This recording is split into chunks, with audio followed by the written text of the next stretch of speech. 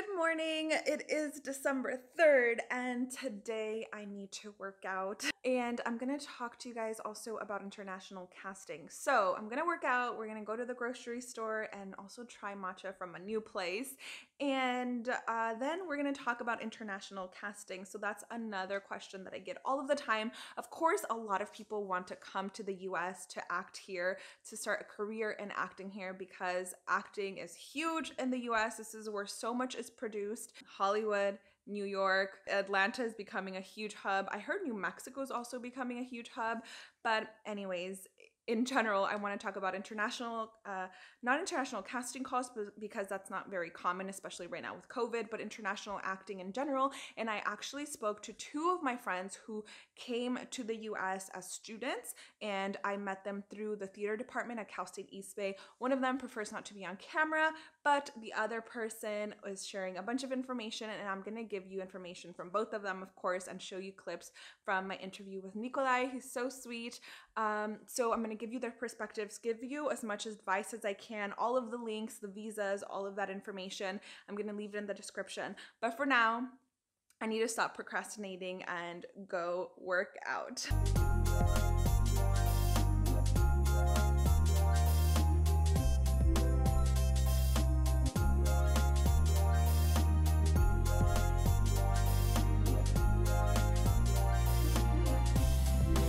I just went to Paris Baguette and I got a matcha latte from them. And if you guys don't know them, they're a chain.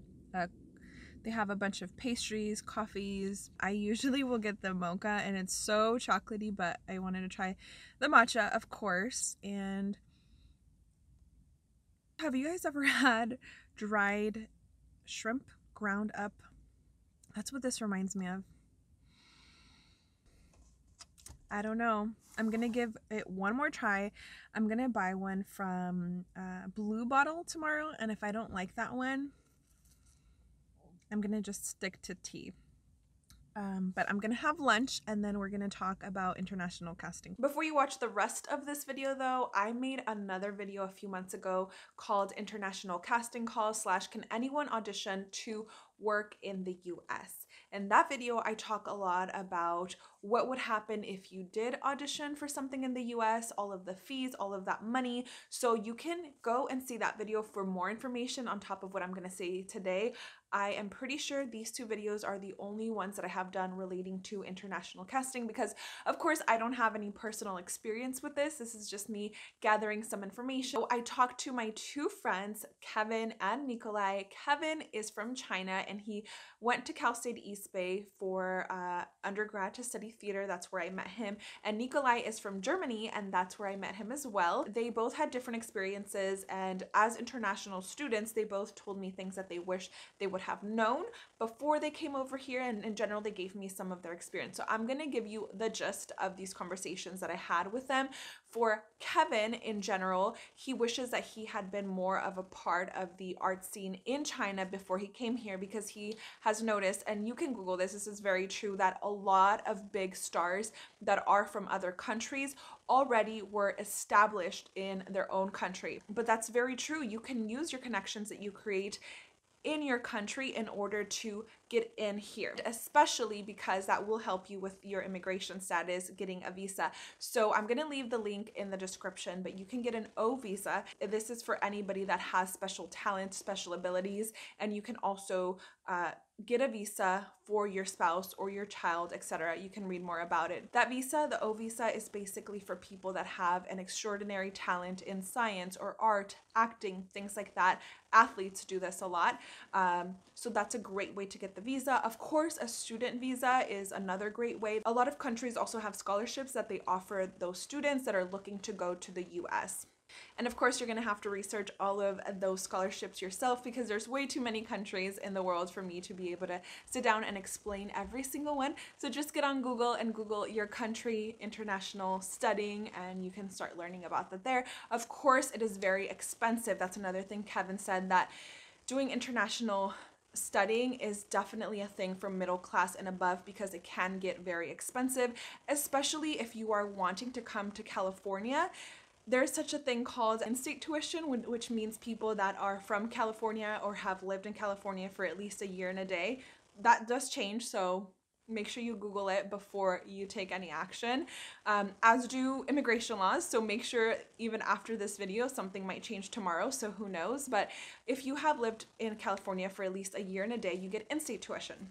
If you have not, you get uh, out of state tuition. So I went to college with a few friends who did pay out of state tuition, and when I was paying five thousand dollars a quarter or a, yeah a quarter semester, they were paying twenty thousand, fifteen thousand. Of course, depending on the university. If you decide to go to a UC instead of just a Cal State East uh, Cal State school, uh, you're going to be paying so much more. And going back to the subject of making a name for yourself in your own country first, nowadays we have so many streaming services. You can make your name in any country through YouTube basically any country through YouTube and then you can use that and leverage it to get an agent or representation in the US and then eventually make your way down here even if it's once a year for a little while to collaborate and then eventually you can come have a full career here. So there's definitely no excuses and of course I know I mentioned this in the other video but it's worth mentioning again the number one thing you should focus on is being a good actor. For Nikolai, I do have some clips of our conversation, so I'll be inserting it throughout. But essentially, for Nikolai, he found it very beneficial to come to the US in order to be able to put that on his resume. As simple as that. He had a lot of opportunities uh, uh, job opportunities. Being an international student, you get exposed to a whole new country, a whole new culture. You know, visas, passports, whatever you need to get. I think I was in a lucky position because I was a foreign student. A lot of paperwork is being not done for you, but they, they give it to you uh, pre-sorted and you only need to fill out everything. So i of course i needed to get a visa but it's a student visa. There is no there is no barrier to, to or whatever. there's no no real requirements. You need to have a you need to be subscribed to the university and if you have the if you're allowed to go which is also not a hustle at all, um, you will get the visa. What was your thought process in coming to East Bay? Finished my master's thesis, and I was waiting for my professor to to finish it off. I what I wanted was really partly like the, the first motivation was okay, you've never been um, um, you never had a semester abroad mm-hmm. while you studied. So you should definitely do it. And it was a very good decision. Every job I had so far, studying abroad has been a very critical factor in, in getting the job. Mm-hmm. But I mm-hmm. went to the theater uh, area because I knew that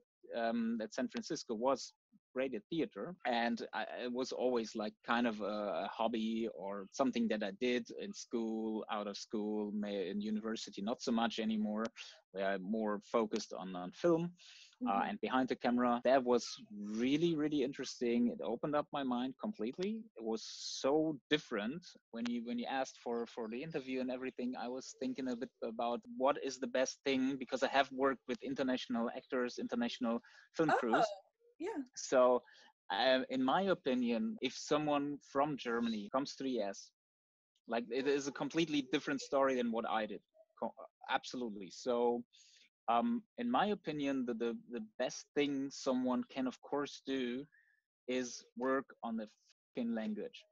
Mm. Uh, you will never get a role if you always sound like the Germans. If you, or if you, you will like, get a role, but you'll be boxed into. Uh, you will be the character. Nazi. You, you. I mean, you can't play a Nazi for for thirty years. That's exactly. probably and probably it's, good it's not fun career. but always have one role. If if you want more roles, if you want more diverse roles, it's it's a lot about looks. Definitely, it's mm-hmm. films. um, but uh, if you want to play something, you need to get first get rid of your accent or you need to play with your accent. One of the things that really stuck out to me that Nikolai experienced in the US was the amount of dedication that American actors had. And granted, he was at a university where we studied acting through theater, not necessarily on camera, although we did have an acting on camera class. But he really enjoyed the fact that actors in the US were very dedicated, that worked really hard, and were wanting to rehearse, wanting to get better at the craft. Unfortunately, it is very true whenever somebody is casting for a particular role, as Americans, a lot of Americans write for other Americans, or at least they want the accent to be non specific. So they will, will want an accent that is American versus something that might be quote unquote distracting to the audience. So that's another thing. And I totally agree, especially being an actor who sees on casting calls, uh, you know, whenever they want an accent, that's the only time really when they're wanting to accept even people with an accent. They will say, for this commercial, we or for this role, we want somebody with a Mexican accent. Other than that, if somebody has an accent and it's a little too distracting for their liking, they're not going to cast that person. That's another thing you can do right now is start studying English and start start and start studying the accents, the American accents. Thank you so much to Kevin and Nikolai. I'm to see if I can talk to any other of my friends that I went to college with.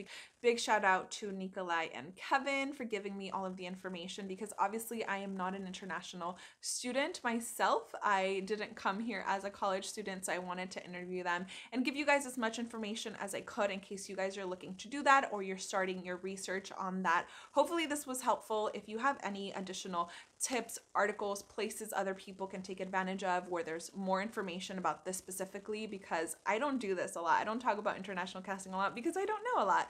So I would appreciate it if you leave left anything in the comments for other people to view. But I'm gonna leave this uh, vlog now and I'll see you guys tomorrow for day four of Vlogmas. And at the end of every video, I feature another channel. This is today's feature. If you would like to be featured on my next video, make sure you're subscribed, like this video, and leave me a comment.